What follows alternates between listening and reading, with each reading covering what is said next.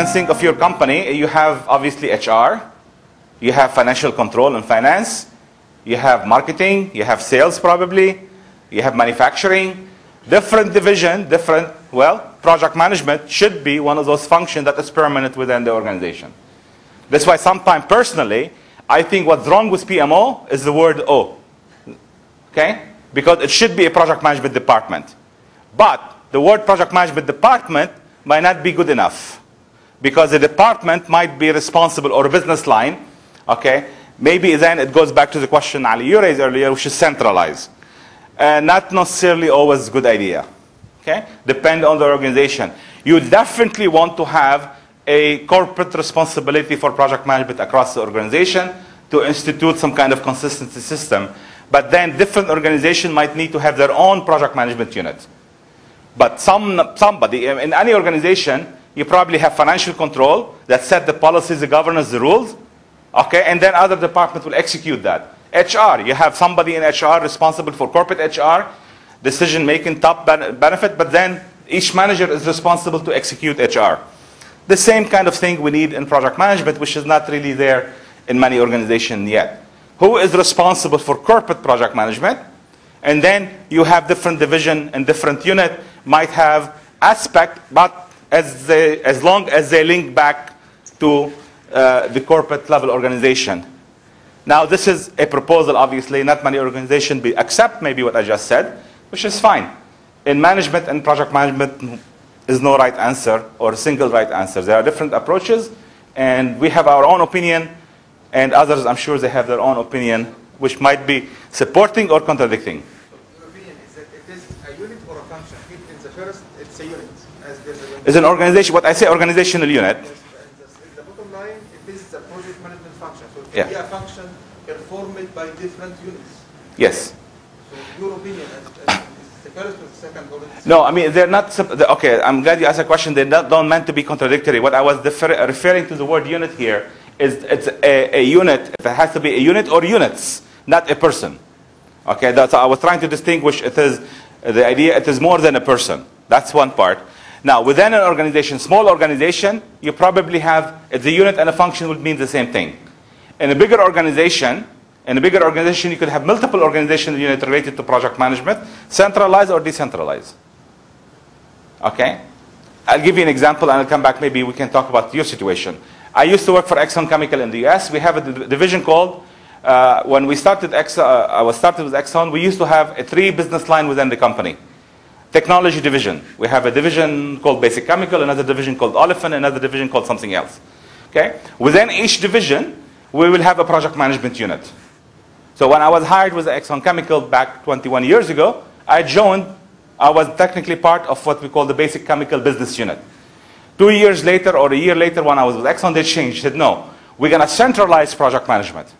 And they create another division instead of the three top business production type of division, they created divisions, they called it central project management. And now all the project management people belong there. So they pulled us from the different operating unit, if you wish, and they put us part of the centralized project management.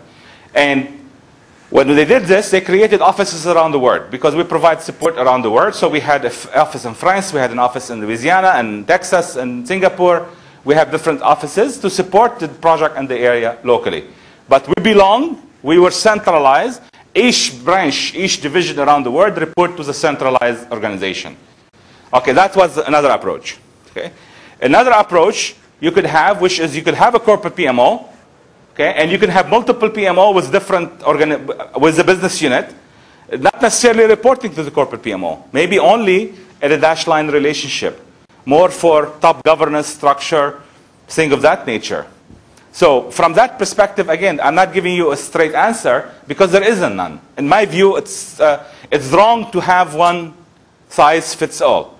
It all depends on the culture. And in basic, in Exxon Chemical, for capital project and the billions of dollars, it makes sense to capitalize and centralize project management across the whole organization.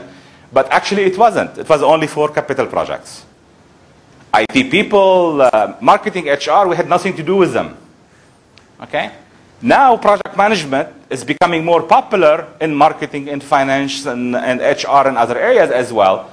Now, does it have to be linked to the capital project? Maybe there is no benefit there. Maybe there is a lot of benefit. You have a different opinion to offer, please do.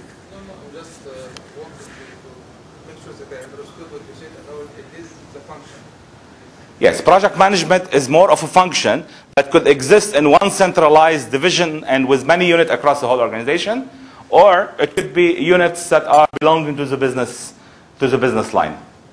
Either way, I, I, if they're not centralized, it's good to have some center to kind of collaborate and coordinate if it doesn't control or managing control. Okay. Uh, and, and I guess this is the last comment I was having here. There could be one more than one PMO in an organization, which is perfectly uh, acceptable. Now, typically, uh, this is a slide I, I skipped yesterday because we had the same event in Abu Dhabi, and uh, finally somebody came back and said, "Why did you skip it? I want to talk about this." Now, when we talk about PMO, is that basically there could be many form of PMO and many roles and function of PMOs. Again, I don't want to convert this into a PMO discussion, but quickly, as uh, Uh, what's relevant here, PMO could start that uh, its role nothing more than just to come up with reports. The role of the PMO is just reporting. Management want to collect data. But ideally, and it maybe stays there forever, but ideally for us, in our opinion, for the PMO to survive and to really reach great benefit for the company, it has to evolve. Not necessarily into all of this, but at least to be more involved in managing project or maybe putting more structure uh, or maybe a methodology such as this or such as that to put for the company. I'm not saying adopt these, I'm saying you develop your own. Okay? And often enough, what we see in the region over here, PMO are not really doing any of that stuff. And as a result, and also global research, uh, Luc, I think, mentioned some PMOs are killed after two years. Why? Maybe because they are put here. So it's only reporting. So some people are perceiving as police force. They're not being very effective. They collect data and they collect data report, which is good, nothing wrong with that. But they are not actively involved in setting up systems and policies and procedures for managing projects. So what's happening, the project management function now is probably uh, highly reported, which is quite valuable, but not enough. And as a result, that basically the perception and expectation doesn't mean reality. Ideally, if we can move into a higher level, which where the PMO is involved in things like training support and things like career management, uh, maybe even coordinating project, or maybe even as far as managing project and program. In many top big organizations around the world that are capital project, actually they are here. Okay? If you take any uh, industrial facility, usually probably you have the same thing. And a lot of companies, they do have their project management department. They don't even call them PMOs. They call them project management department. And the project manager report to that department. Now, our view is, as you can move from left to right, organizational maturity increase. So that's basically um, trying to link to define maturity. And what I've done so far is define organizational project management, define the role of PMO on that, and the next, now I come back to, let's define maturity. What is maturity? How much, and how do we apply knowledge to the practices we have in the organization? So maturity is measured usually in relationship to the practices within the organization. The term came from IT industry with the capability maturity model. I used to think it's index, but today I was corrected, it's integration. Uh, as a way we can measure how good are the practices within an organization in the area of IT, or in this case, about project management. So how mature are the practices? And usually we measure it on a scale of 1 to 5, with 1 being uh, basically probably no system exists at all, or maybe at an awareness level, versus level 5 that might refer to a center of excellence. Uh, there are different models for project management. Unfortunately, there is not one single dominant model in the world that we can use in order to assess maturity of an organization or the maturity of the practices of project management within an organization. Any question on this? Are we okay with that? Okay. Now, why do we need maturity? Some quotation here, I, unfortunately, I don't know the source, but some of the stuff that's float around the internet often enough. There is never enough time to do it right the first time. But there is always enough time to go back and do it again. Now, this is more of a quality principle, okay? But the same thing apply. And when we were discussing this yesterday, they said, well, we don't have enough time to plan. I'm sure some of you have heard this. This is exactly the same thing here. We don't have enough time to plan. It will take longer if we plan. I mean, the idea is the opposite. It doesn't take longer. Yes, you might take longer time to plan, but the idea, if you have a better plan, okay, then your execution time is going to be shrunk. Hopefully, okay, by more time than you spent on planning. So overall result, it will be shorter time. Okay, and that's what's important. I was, I'm in, uh, back, my background is oil and gas, and we do benchmarking in the oil and gas sector.